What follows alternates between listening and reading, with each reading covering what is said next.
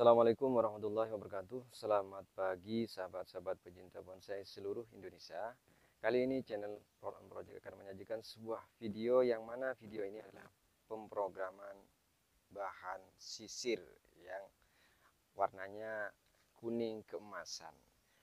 Yang mana bahan ini saya dapatkan dari order dari Kebumen. Oke kita saksikan aja langsung videonya dalam pemrosesannya Nah inilah guys bahannya yang akan diprogram. Pengurangan pada batangnya. Nanti bahan ini akan dijadikan kesan tiga pohon itu.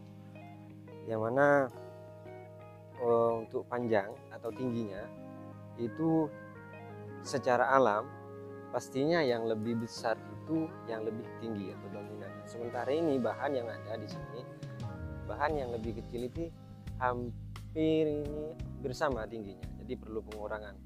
Ya jadi perlu pemotongan kembali oke mari saksikan pemotongannya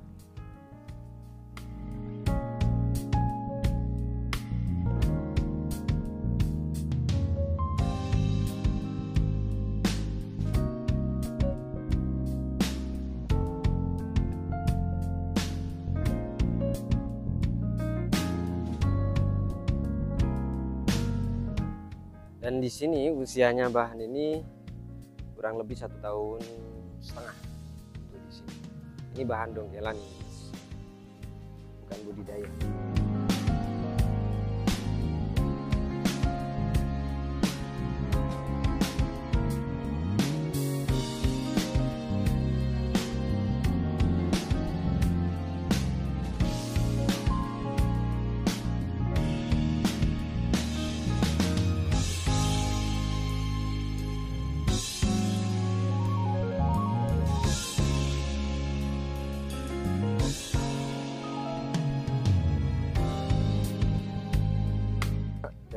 dari sebelah sini. Jadikan muka jadi nanti kesannya itu pohonnya itu adalah yang pertama ini mukanya sebelah sini pohon yang ini kan membuat kesan tiga pohon. Sebenarnya kan satu pohon. Jadi satu. Cuma nanti memberikan kesan ini bertumbuh tiga pohon. Ada tiga pohon dalam satu pohon. Antara ini ini kemudian yang ini dan yang ini. Makanya perlu pengurangan. Supaya yang lebih besar ini nanti lebih tinggi.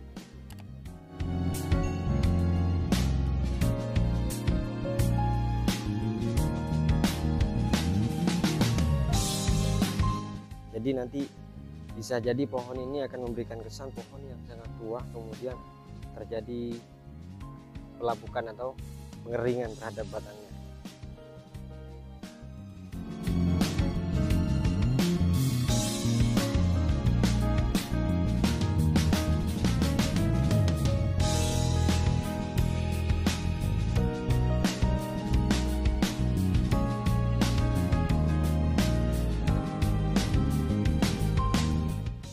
sehubungan dengan bahan yang ketika di program ini ada yang kering guys maka sekalian akan saya buat dengan model tanopian nanti apa sih tanopian itu? Kata teman-teman itu adalah batang yang di situ yang masih hidup tapi ada yang kering begitu. Jadi untuk memberikan kesan yang lebih ruaknya maka perlu kita pahat guys ya. Ini alat-alatnya sederhana saya beli di Ah, toko-toko mebel. Oke kita mulai guys ya. Belajar guys ya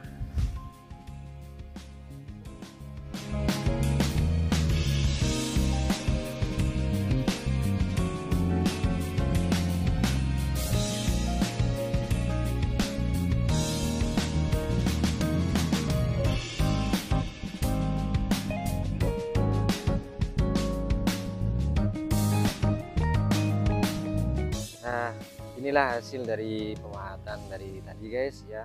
Coba videonya didekatkan. Kita buat kesan alami sealami mungkin sebisa mungkin semampu mungkin karena ini masih belajar guys ya. Uh, untuk ini masih tunggu pembesaran pada batangnya ini nanti setelah kering baru nanti kita kasih uh, alat uh, bahan untuk menjaga kekerasan batang tersebut. Besok-besok tunggu kering dulu.